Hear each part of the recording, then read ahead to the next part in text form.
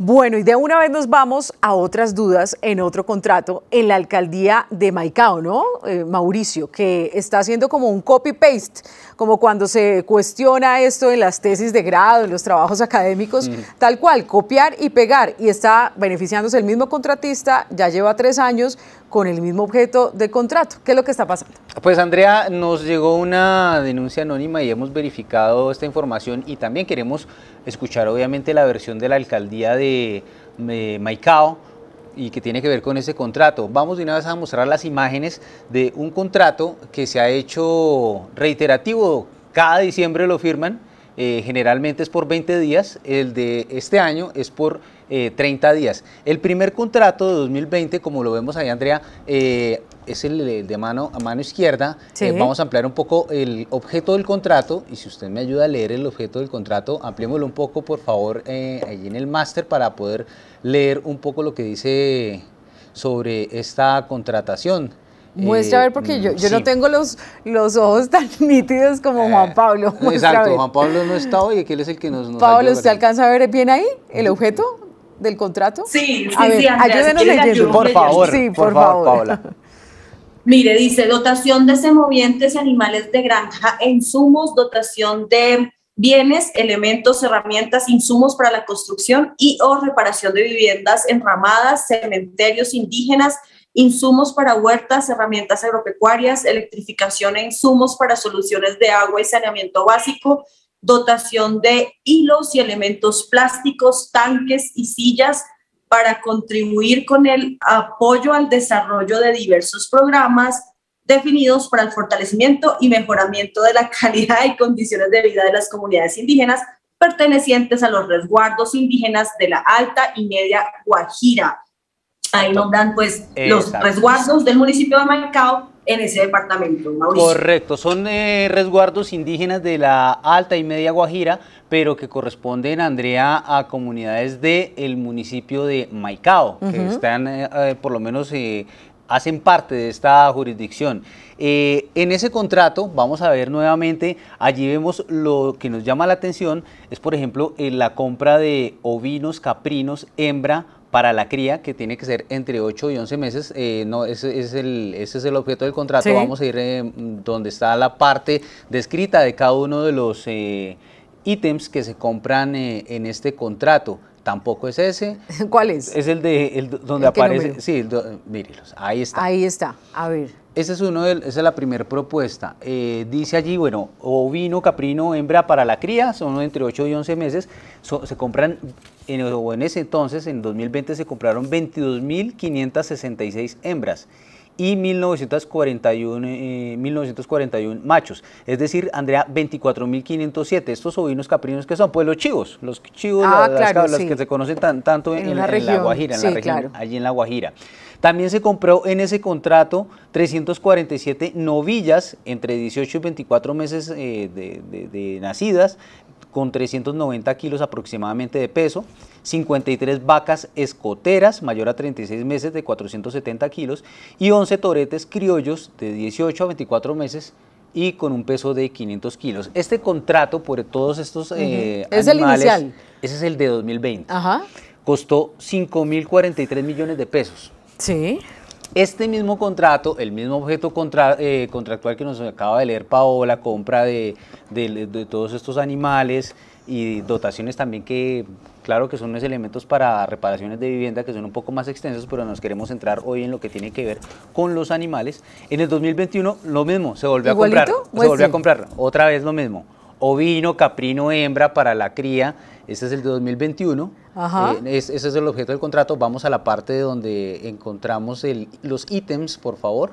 Allí nuevamente se habla de las eh, de los chivos, las hembras, 21.869 se compraron, 2.141 machos, para un total de 24.000 10 eh, chivos. Ahí es donde está el copy-paste. Ahí está el copy-paste y, estamos hablando, Andrea, que se está repitiendo la misma, o sea, unas cantidades que uno diría para esa comunidad indígena, eh, tanto chivo, son 397 novillas, 59 vacas y 30 toretes. En el 2022 vamos otra vez a los ítems, eh, a los 2022, sí.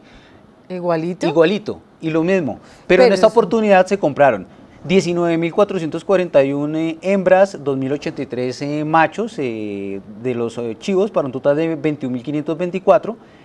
179 novillas, 5 vacas y 4 toretes. Este contrato de este año, 4.828 millones de pesos. El contrato de 2021 costó 5.201 millones de pesos. Es decir, en total se han gastado 15.073 millones de pesos en compras de estos animales, Andrea, de estos, eh, de estos eh, cinco ejemplares, cuatro ejemplares, cinco, porque son eh, macho y hembra. Sí.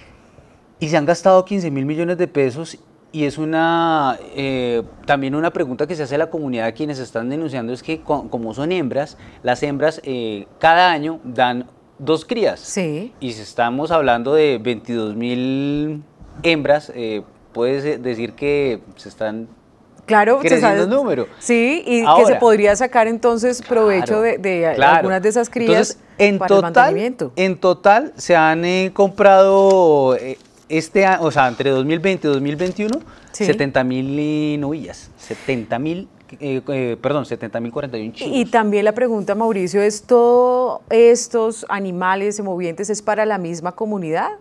Son para las comunidades indígenas de Maicao, eso hay que hacer la en Solo Maicao, pero entonces uno se diría, ¿por qué no presupuestaban de una vez qué cantidad necesitaba la comunidad y hacer la proyección de las crías, la reproducción de estos animales, cómo se puede eh, pues mm, aprovechar y no estar contratando cada año lo mismo, sino de una vez haber planeado todo, ¿no? Claro, y estamos hablando de... Mauricio. De, repito, son 70 eh, mil eh, chivas. ¿Sí, sí, Paola? No, una pregunta. ¿Y a quién se le, compran estos animales? Allá voy, para allá voy, para allá voy, Paola, porque son buenos. 70 mil chivos en tres años, 923 novillas, 117 vacas, 45 toretes en estos tres años.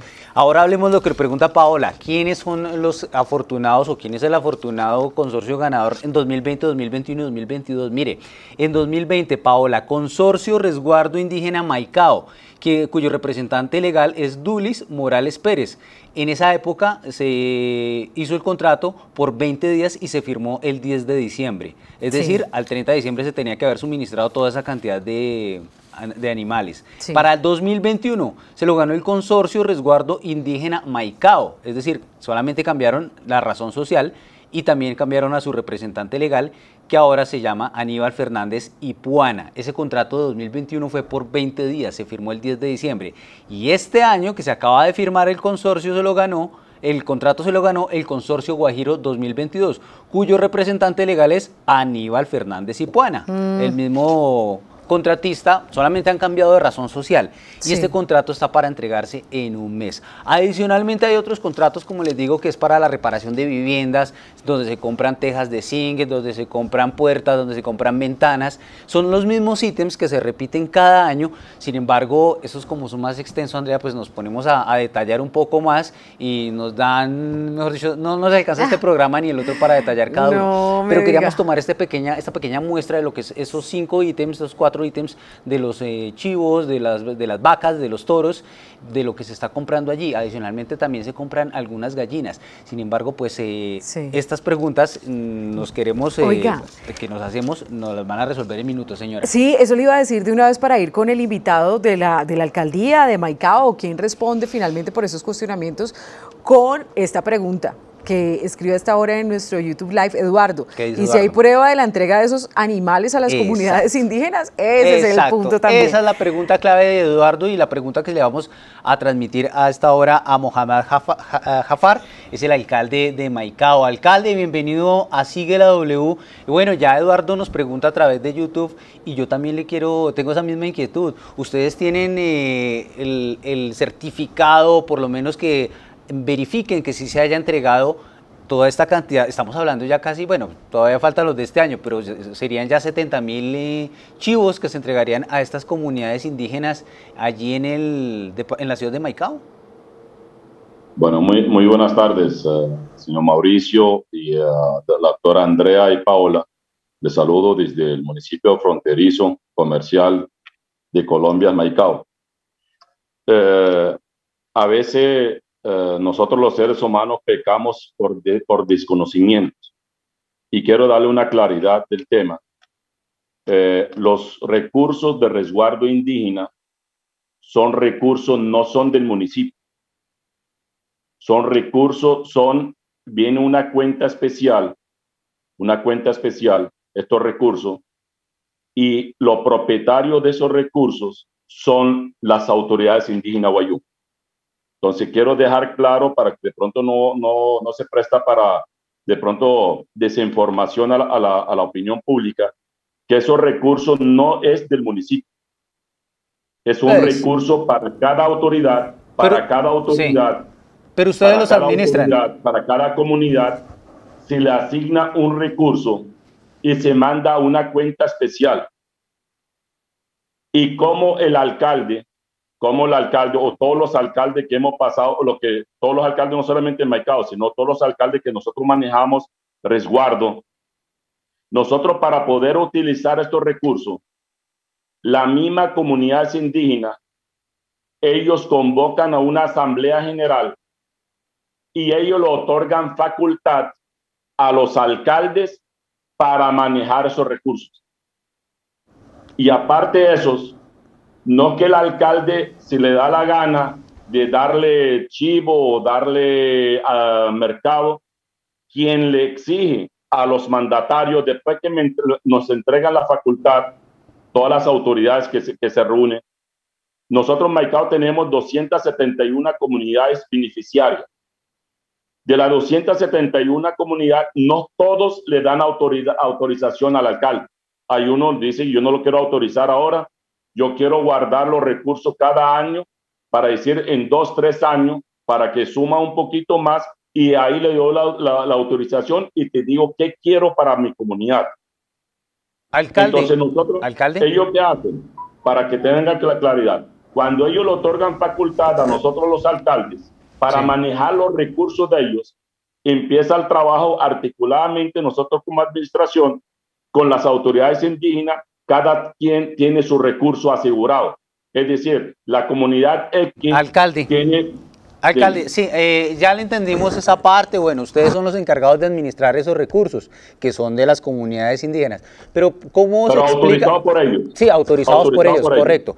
Pero, ¿cómo se explica uno que se repita siempre el mismo ítem eh, cada año? Ya llevamos tres años comprando chivos y chivos y chivos. Estamos hablando ya, este año son en total 70 mil chivos y que se pueden reproducir. Entonces, no sé esa comunidad indígena en este momento cuántos chivos tienen, porque a mí me dijeron fuentes, no sé si sea cierto, eh, alcalde, usted me confirmará que toda esa cantidad no existe en, eh, en, la, en la, zona de comunidades indígenas. De, Pero no sí, allá en territorio. Un territorio que no puede haber toda esa cantidad de chivos.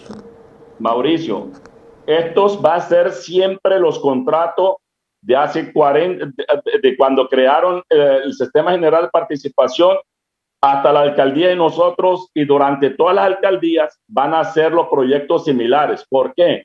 Porque quien solicita el ovino, caprino, novillos, material de construcción, sí, alcalde, hilos, temas artesanales. Eso lo entendemos, sí, eso lo entendemos. Usted ha sido incisivo y es importante dejar esa claridad que quienes solicitan esas necesidades, pues son las comunidades indígenas, pero usted es como administrador de los recursos. Y yo sé, pero ¿por qué ustedes nos puede contestar por qué no se hizo una proyección más a futuro y de una vez garantizar en un mismo contrato la ejecución durante más tiempo o proyectar la necesidad de chivos y lo que le dice Mauricio, todos estos chivos de verdad están en territorio, no se ha aprovechado eh, la reproducción de estos animales y no le parece que también puede llegar a ser como exagerado eh, ese contrato cada año? No exagerado, son cosas reales y nosotros le entregamos los lo ovinos, caprinos, los novillos a la misma comunidad y ellos nos reciben a satisfacción. ¿Qué hacen esas... ellos con, con eh, no sé si usted conoce la parte cultural guayú, los guayú, ellos que hacen con los ovinos caprinos y los novillos, ellos lo utilizan más que todo para los entierros, para los muertos.